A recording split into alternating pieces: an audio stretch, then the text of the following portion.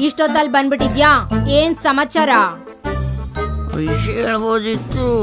ಹೆಣ್ಮಗಳಿದ್ದಲ್ಲ ಹೆಂಗೆ ಹೇಳೋದು? ಬಾಯ್ ಬಾಯ್. ಸರಿಮಾ ಏ ಏನು ಹಂಗಂದ್ರೆ? ನನ್ನಲ್ಲಿ ನೀರು ಬರ್ತಾ ಇಲ್ಲ? ನಾನು ಹೆಂಡತಿ ತುಂಬ ಟ್ರೈ ಮಾಡಿದ್ಲು ಬಂದಿಲ್ಲ. ನಾನು ಕಿರುಚಿಕೊಂಡ್ರೆ ಆದ್ರೂ ಬಂದಿಲ್ಲ. ಹ್ಮ್. ಅದಕ್ಕೆ ಸೀದಾ ಇಲ್ಲಿ ಬಂದೆ. ಹಾ ಇಷ್ಟೊತ್ನಲ್ಲಿ ಬಂದು ನನ್ನಲ್ಲಿ ನೀರ್ ಬರ್ತಾ ಇಲ್ಲ ಅಂದ್ರೆ ನಾನೇನೋ ಮಾಡ್ಲಿ? ರಿಪೇರಿಯವನು ನಾಳೆ ಬೆಳಗ್ಗೆನೆ ಬರೋದು. ಮತ್ತೆ ನಾನು ನೀರಿಗೆ ಏನು ಮಾಡಲಿ? ಹ್ಮ್. ಅದನ್ನೇ ದೊಡ್ಡ ಇಶ್ಯೂ ಮಾಡ್ಬೇಡ. ಟಿಶ್ಯೂ ಪೇಪರ್ ಕಳಿಸ್ತೀನಿ.